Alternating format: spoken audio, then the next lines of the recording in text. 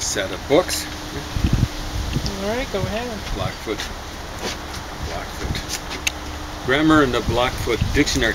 But maybe we'll talk a little bit about. CBC. Is that okay? Yeah, you can do what you yeah. want. Well, you're not eating anything, so you can't lose your appetite, right?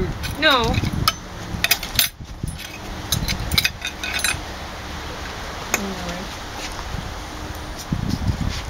I should the- let Harrison, you talk.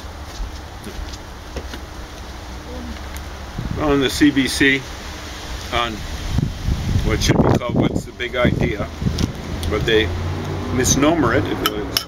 Excuse them, this word, misuse of the word misnomer. They misnomer it uh,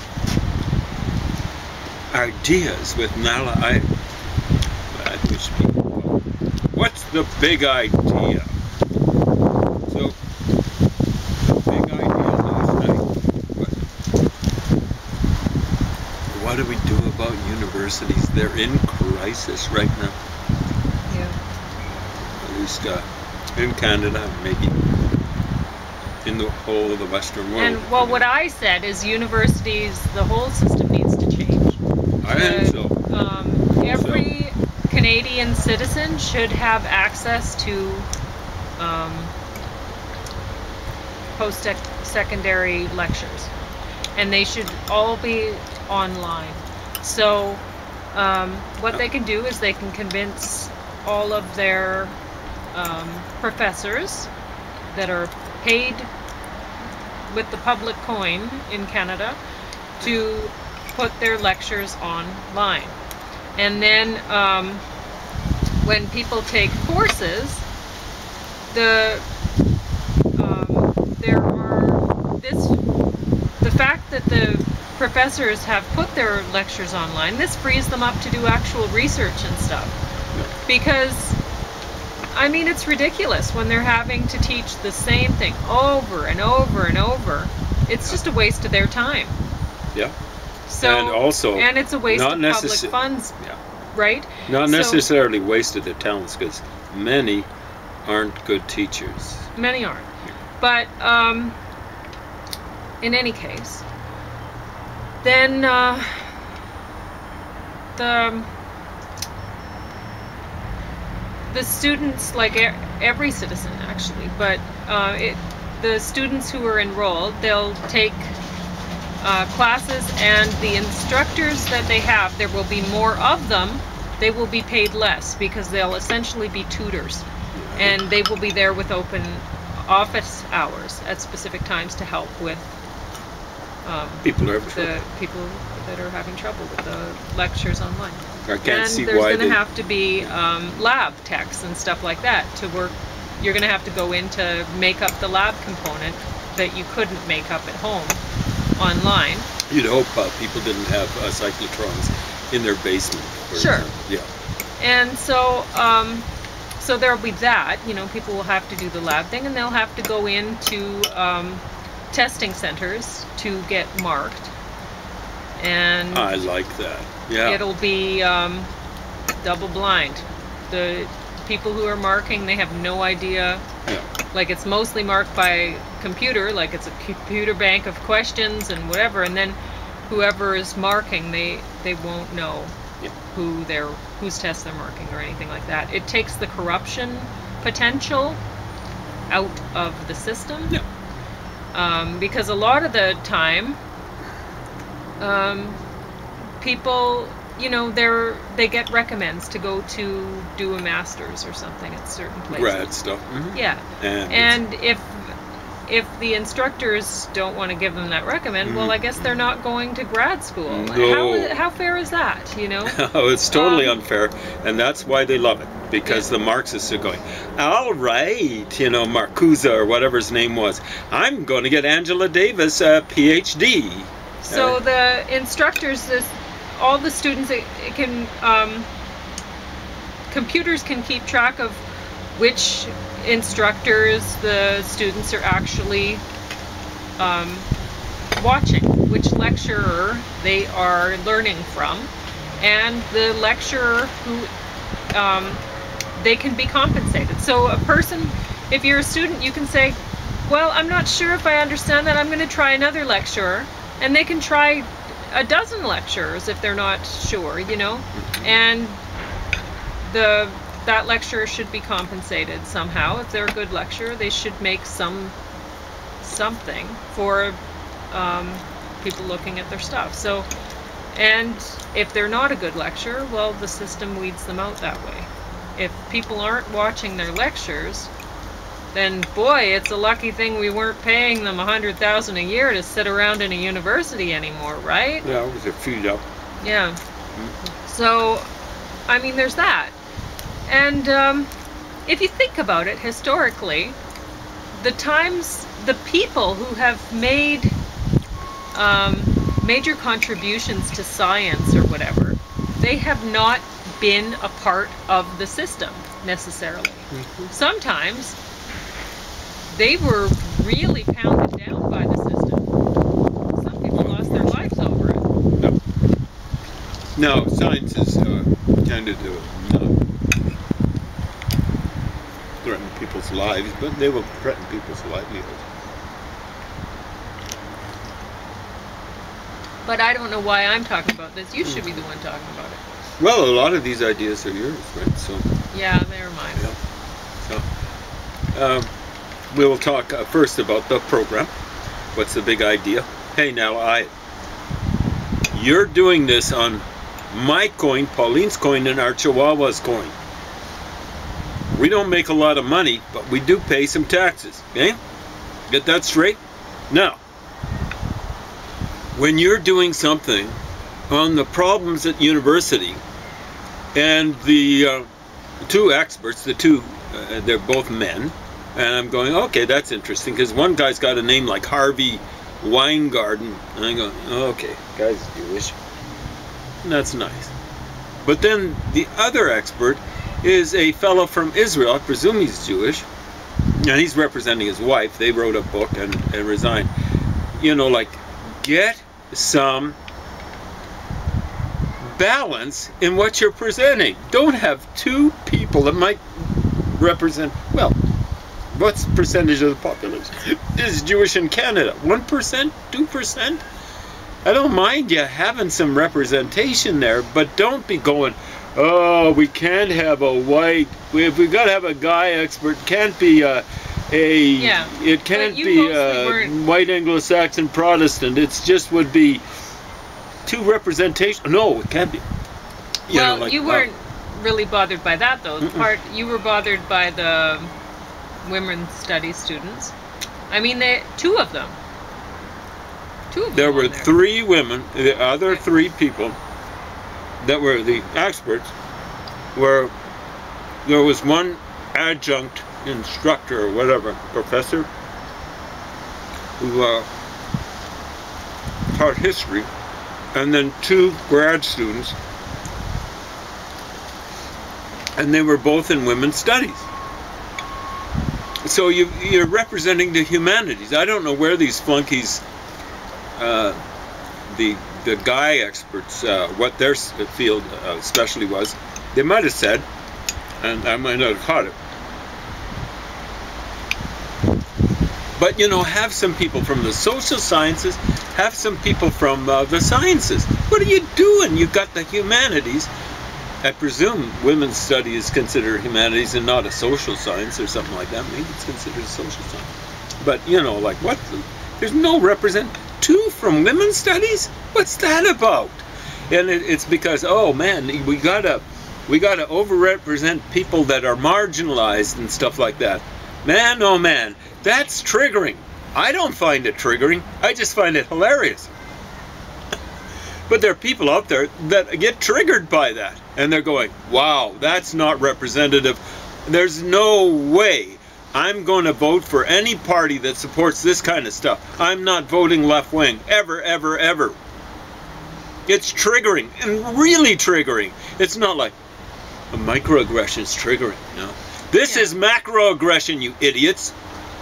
Well, what you were bothered by, really, though, Mhm. was the fact that um, they're in women's studies, and then um, you said, well, what kind of job are they going to get afterwards? And they want to be university professors. And the one um, history One did.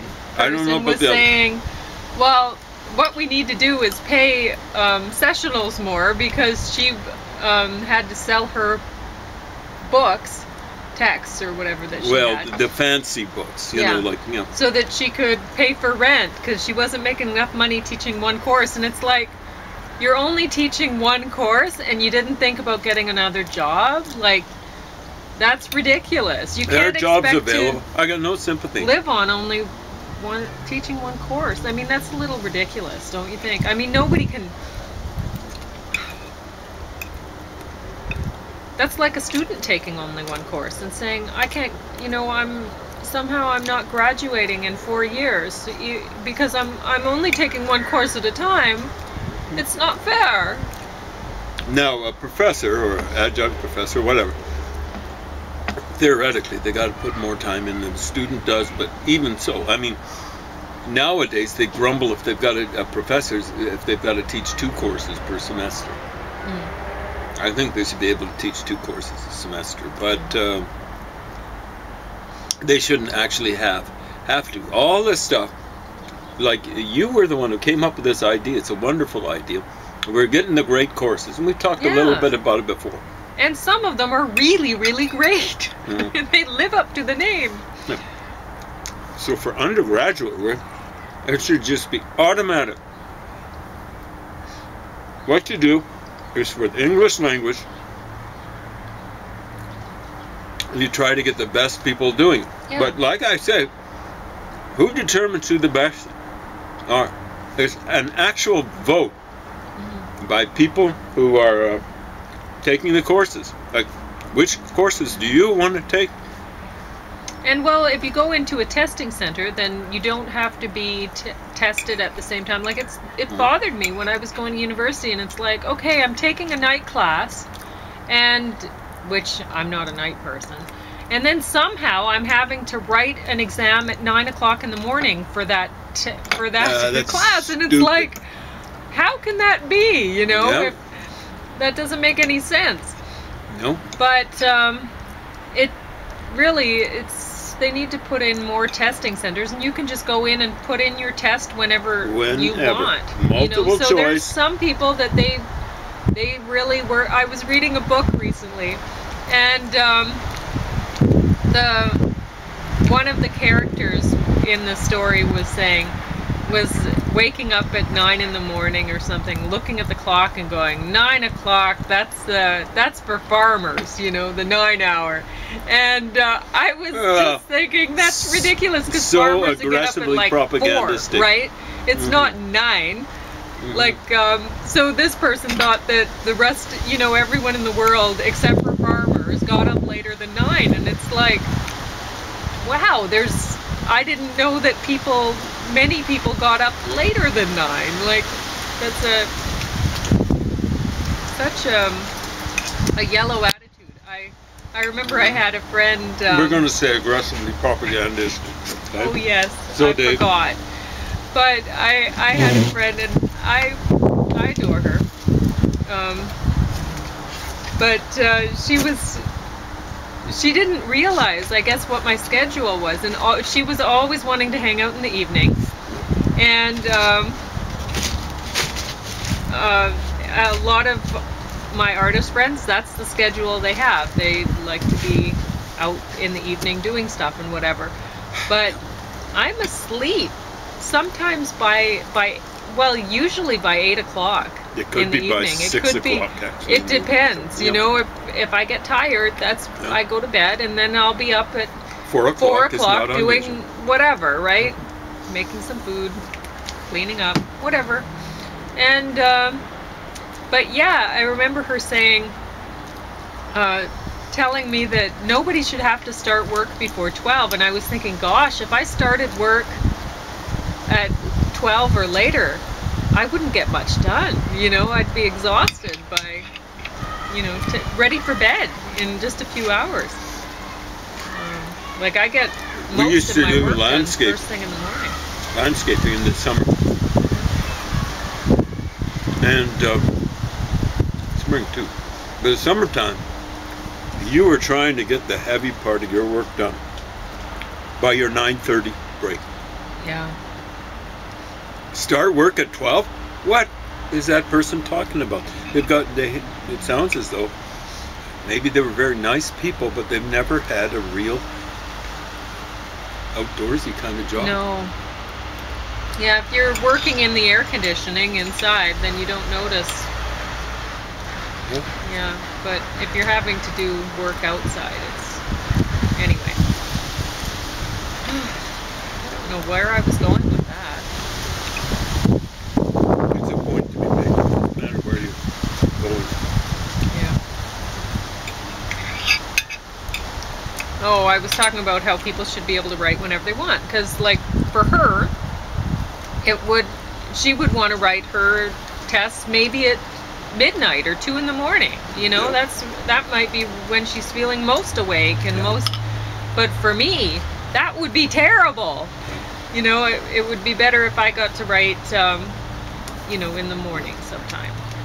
So you get a bank of questions, no even short answer questions.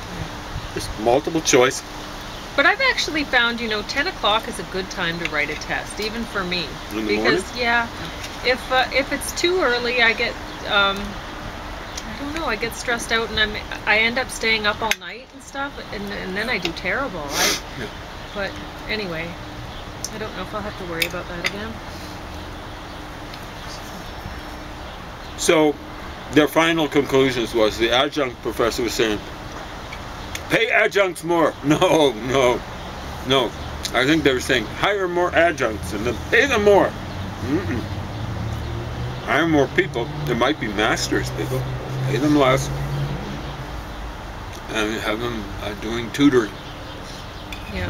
Um, And I mean, a lot of the tutoring and jobs and lab tech jobs, they'd be done by grad students anyway. mm, and you know you don't need um, somebody with a phd to be doing a lot of the um, stuff that instructors do. They should be doing research stuff. It's a waste of it's a waste of their time. It's a waste of taxpayer dollars to get them doing teaching Yeah. courses honestly. So, I think the one who was saying hire more adjuncts was saying free education. Oh. it's costly. Education is costly for society. We got to get something out of it. And not everyone can, you know, if everyone takes women's studies and everyone wants to be a university instructor teaching women's studies at the end of it all, what's the point? We get nothing. You know, Nothing. like- it doesn't matter if it's women's studies. Hey, you know, like I major in history, but I don't go around pretending that that's going to put bread on people's tables. Come on. It's important to study history so you know how to vote. And I'm not talking about the fake history that you idiots are uh, serving up, like uh, like uh, Brian Wilson served up his dad on a plate. His dad was a nasty guy. I'm not going to say what he put on the plate,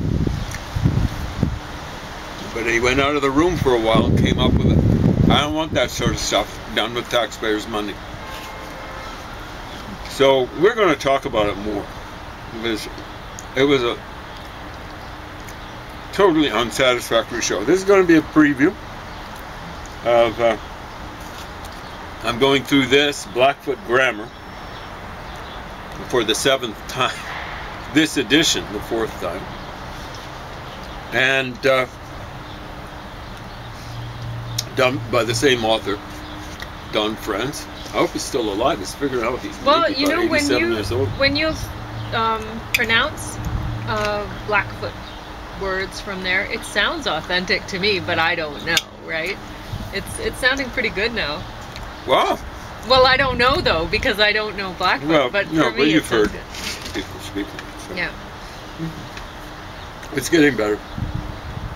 The sound systems are relatively simple. It's not as simple as Cree, but I think there are only 13 consonants. And then, well, there's several different vowels, but really only three vowels, but, uh, you know, and lengthen them and stuff like that. But uh, and then there are a couple of diphthongs, which really are pronounced like vowels in most contexts. So it's it's like they've got five vowels. But this is the Blackfoot grammar. I'm doing a variety of different things with it, so it's not like just reading it or whatever. I'm trying to memorize stuff, but I'm trying to chop words up into sensible pieces because uh, you, you get with these languages that they call agglutinative and the words just get amazingly long Yeah. so you can see how long Yeah. some of these like but uh, like the word for for uh, horse Ponokomita, something like that imita means uh, Ponokomita Ponokomita, something like that That one doesn't sound good. no, I'm, I'm uh, just going. I'm not reading it out here, but Panoka. You can hear Panoka, and that means elk. And uh, Omita is uh, uh, variation of imita. Like uh, it's a combinatory vari- variation. Imita means dog, so the word for horse is elk dog. Well, in English you'd have elk dash dog, but in Blackfoot, the way it's written, is like one sort of. Uh, thing. Okay. so there we go. See, So you're saying they need to have some hyphens in there or something? Well, what you do is you put it after the A there, hmm and then what I would do with the O is actually do something that shows it's being put in there, and then I have an I after it, and with in brackets to show that it's the original form is imita, which means dog, right? But you can see how it's uh, quite long, really, two, three, four, five, six syllables. So six syllable words are ridiculous, or uh, five syllables. Uh, really, the A O is uh, they call it a diphthong, but it's really uh, uh, the the kind of O that Americans say when they say caught, caught, caught. You know, Canadians say caught. The way they say the the W in dawn or, or whatever. It's uh, it's uh, we don't make that distinction.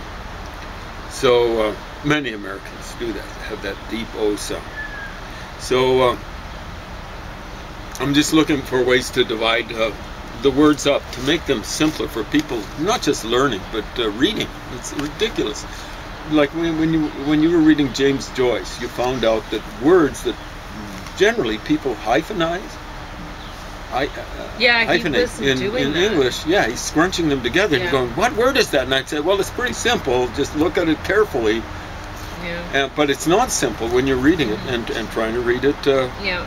with understanding, right? Instead of having to worry over it.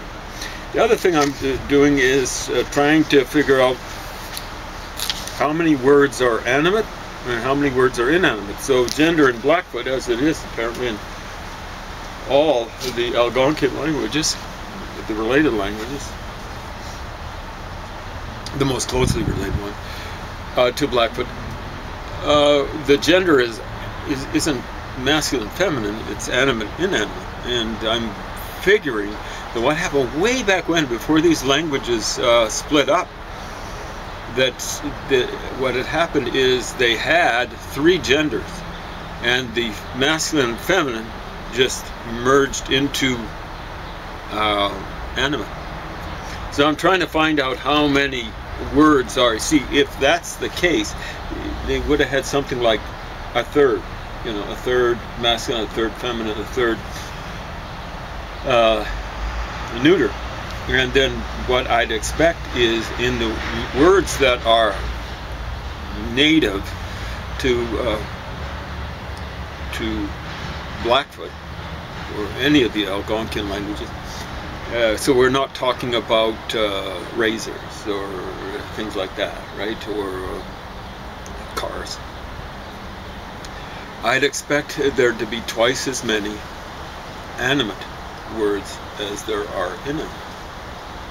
So I'm just uh, kind of checking that out. So far, it's not working out, but what the heck? You know, like uh, the thing is, you have an idea and then you got to check it out, and it's not enough to be yeah. man, on this, uh, what's the big ideas program? Uh, they were saying at the end, like, what would you, uh, what do you recommend? And one of them did the imagine trick. You know, the imagine there's no heaven. It's easy if you try. That's a song. You don't do that when you're actually looking for real solutions. But she's, imagine if, and I'm going, oh man, oh man, oh man, oh man, no. Anyway, uh, that's about, yeah, a great big no, a Nietzschean no.